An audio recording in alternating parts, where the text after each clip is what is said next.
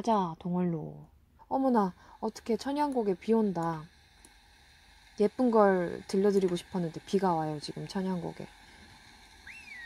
일단은 지도를 켜서 만접형으로 애들을 좀 이동시켜 애들이래. 애를 이동시켜 볼게요. 지도를 켜서 클릭해 놓으면 자동으로 이동을 하고요. 그동안 저는 책을 읽거나 음, 뜨개질을 하거나 다른 일을 같이 하죠.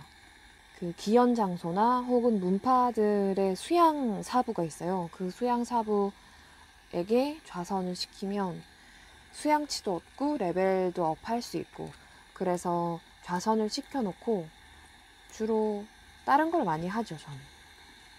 사운드가 괜찮죠? 비가 오는 소리도 그렇고 아무래도 여러분들을 위해서 싸움을 걸어봐야 되겠어요. 이 천애명월도는 PK 기능도 있어서 게임하는 사람들끼리도 싸워서 무림의 고수를 가리기도 하고요.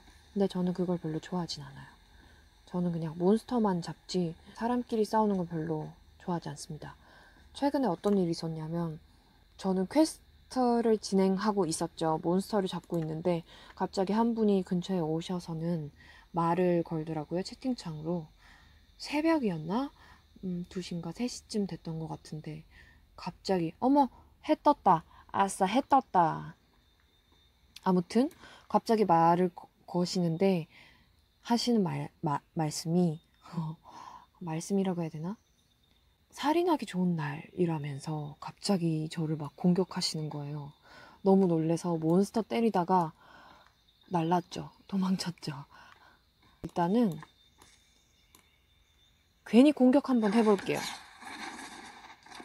어, 제가 레벨이 너무 높아서 어, 여기 있는 분들은 순식간에 처리를 해버렸네요.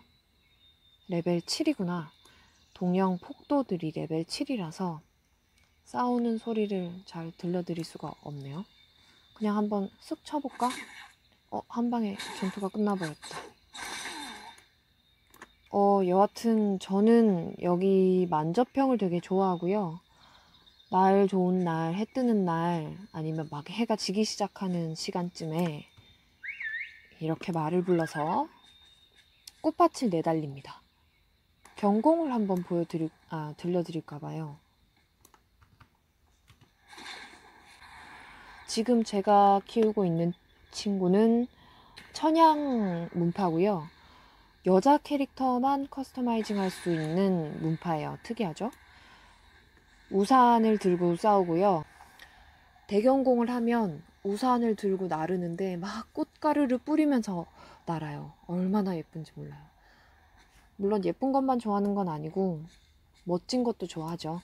어두운 캐릭터 중에서는 오독 캐릭터를 좋아합니다.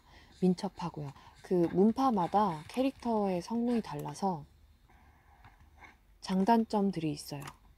어, 싸우는 모습이 엄청 멋있어요.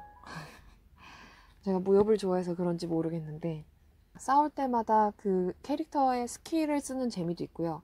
또 파티원들을 모아서 같이 이동하거나 하는 퀘스트도 있는데 저는 아직까지 파티원들이랑 뭘 해보진 못했어요. 기본적으로 혼자 돌아다니는 걸 좋아해서 그래도 방파 가입은 해서 방파원들과 어, 연회 같은 것도 해야 하는데 아직 한 번도 참여해 본 적은 없습니다. 가입만 했고요. 지금 들어온 이곳은 서해 귀도전입니다. 여기도 좀 음산하니 음악이 멋지죠?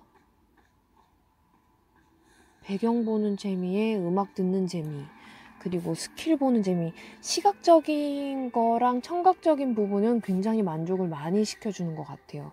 천의 명월도 아름다운 게임으로 추천을 하고요. 신나게 녹음을 마칩니다. 게임 소개 끝입니다. 안녕.